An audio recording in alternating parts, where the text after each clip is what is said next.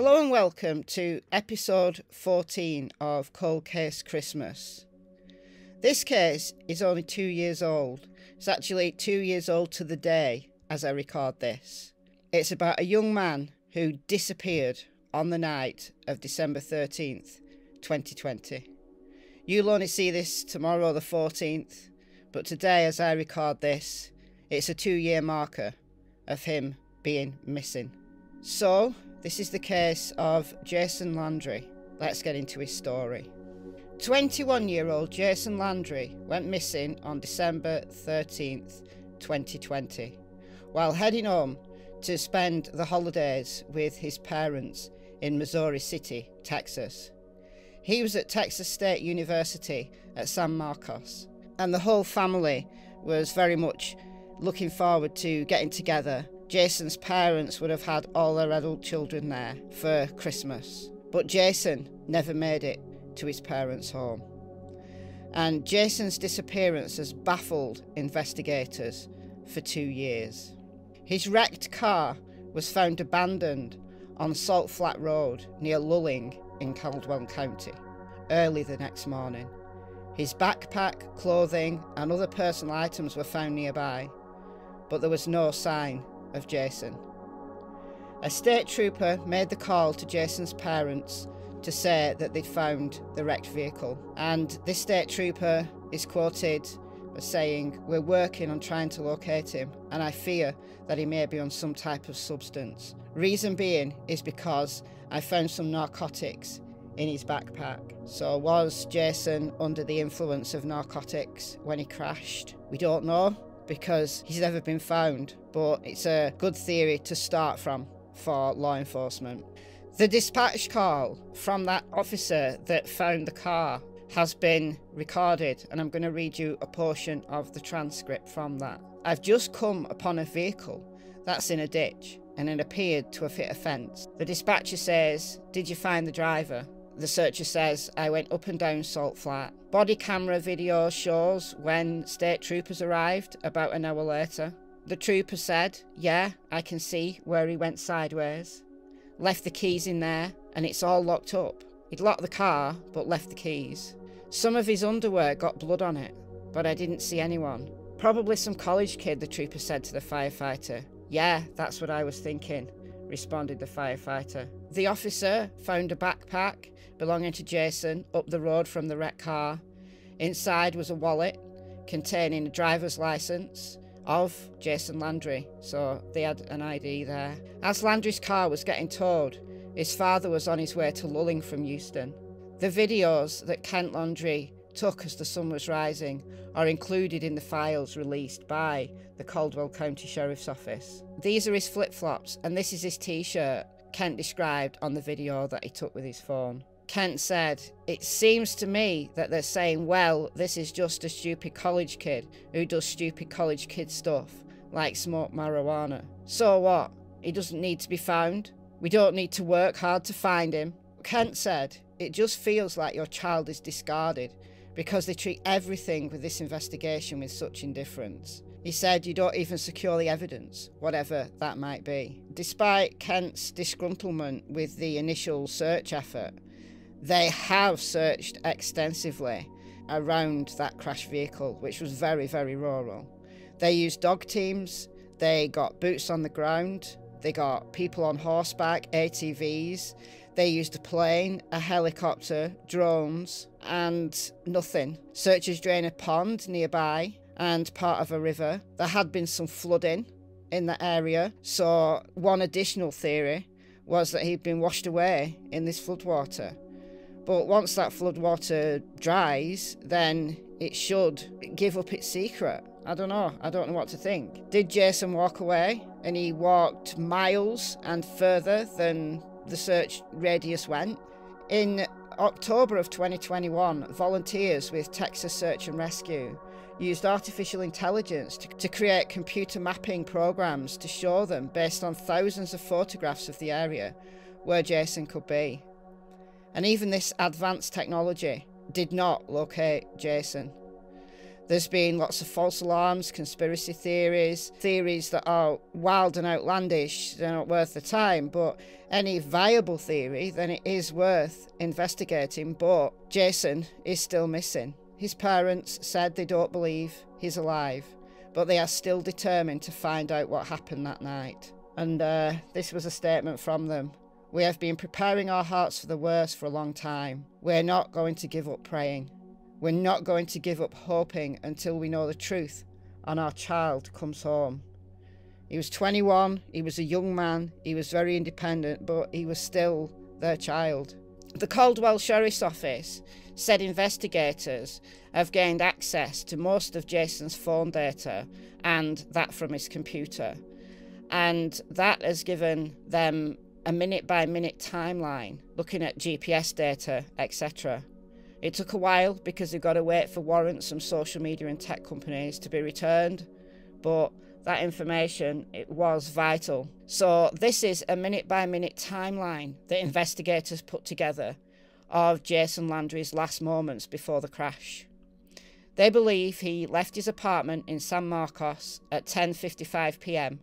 on December 13th, 2020. At 11:05 p.m., he drove down Highway 80 and passed under I-35 in San Marcos. He continued driving, entering Caldwell County at 11:07 p.m. By 11:11 p.m., Landry was in Martindale, Texas, continuing south on Highway 80. At 11:15 p.m., Landry passed over SH30 and Highway 80. At 11:17 p.m., he was in Fentress and then he entered Prairie Lea at 11:19 p.m. He then entered the city of Luling on Highway 80 at 11:24 p.m. As he went through the intersection of Hackberry Street where Highway 80 becomes Austin Street, he stopped using the Waze app and began using the Snapchat app on his cell phone. He continued on Austin Street to the intersection with US Highway, which is Magnolia Avenue. It's believed he continued straight through that intersection but it's at this place, this intersection, where Landry's digital footprint stops. Authorities believe that Landry continued onto Spruce Street, which turns into Salt Flat Road, and his car, his Altima, was found abandoned there in the 2300 block of Salt Flat Road about 30 minutes after midnight on December 14th, 2020. So, two years today as you're listening to this, if you view this video on the day that it's put out, obviously. There's a 67 minute window that investigators have tried to take through piece by piece between the last digital footprint at Austin and Magnolia and the discovery of the crash scene. His phone had signal and was powered on, but investigators have tried to determine why it doesn't appear to have been used since the area of Magnolia Avenue and Austin Street. Maybe he just finished what he was doing. The evidence that Caldwell County Sheriff's Office released includes videos, messages, and Snapchats that Jason shared with his friends the night he disappeared. So he must have been doing this while he was driving, maybe not paying attention. There were images and talk of marijuana, as well as some personal dialogue. A retired FBI agent who runs a non profit called Project Absentis looked closely at the case with his team of investigators. Abel Pina, who's been investigating crimes for 27 years, said there are multiple red flags, and they believe Jason's clothes and other belongings in the middle of the road could have been staged. I think the biggest red flags for us initially were the clothes just being laid where they were placed. The more we ran it by some of our team, we all agreed that it appeared to look like it was staged. He said that witnesses also raised doubts about whether Jason was actually behind the wheel of the vehicle when it crashed. You know, he was Snapchatting, he was on his phone, so was he doing that while he was driving, or was someone else driving? Did someone else crash Jason's car and get out and run away? Were they scared? Was Jason injured and tried to follow? But why hasn't he been found?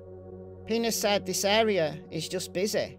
There's drug activity that takes place behind here, and we have discovered this criminal element in this area. Instead of turning right on Magnolia to get to I 10, Jason's vehicle travelled four miles before it turned into Salt Flat Road, which was a pitch dark gravel dirt road. Why was Jason there? Why wasn't he carrying on on the highway to get to his parents' house? He travelled four miles out of his way.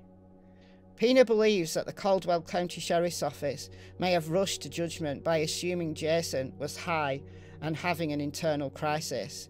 So, high on drugs, depressed, crashed, and then was so out of his mind that somehow he took his clothes off and he wandered naked into the into the woods. Would you do that if you were high on narcotics or marijuana? I don't know. Pina said, I don't believe he was high enough that he would have gone into any kind of episode where he would have removed his clothes, especially in the conditions. It was cold that night. It was December.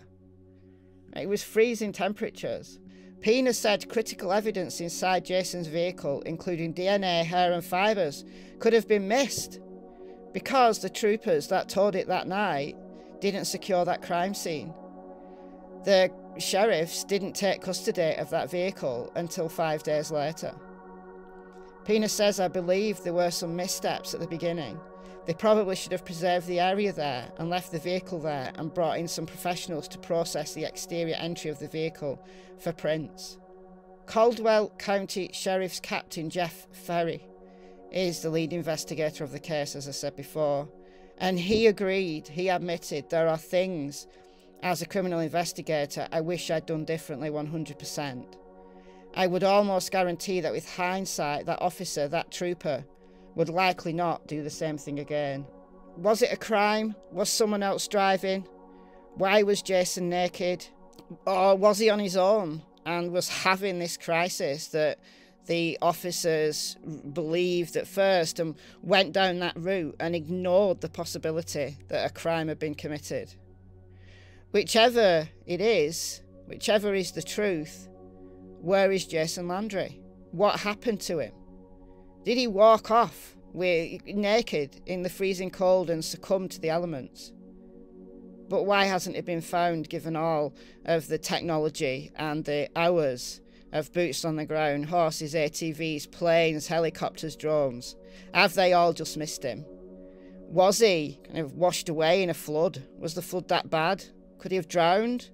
And there's been wildlife activity, and that's why they've not found him, that his bones have been dispersed. We just don't know. For the last two years, his parents have lived in this state of not knowing. And they deserve some answers. So, were you in the area? If you know anything about Jason, his whereabouts, if you drove by and you remember anything, call 911 or the Caldwell County Sheriff's Office at 512 398 6777 or email Detective Jeff Ferry at jeff.ferry at co.caldwell.tx.us. They're particularly asking anybody with uh, trail cameras on private property, surveillance video, police in the initial investigation might have missed. Would there still be footage on those after all this time? I don't know. I don't think so. But who knows? It's worth checking, isn't it? And if you do find something, then please do contact the Sheriff's Office. Alright, guys, what do you think happened to Jason Landry? This is a real mystery. But Jason needs to come home. So I'll say goodbye for now, and I'll see you in the next episode of Cold Case Christmas. Bye, guys.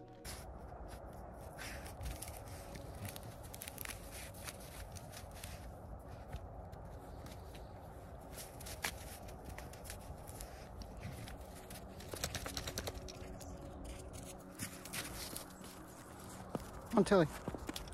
This way.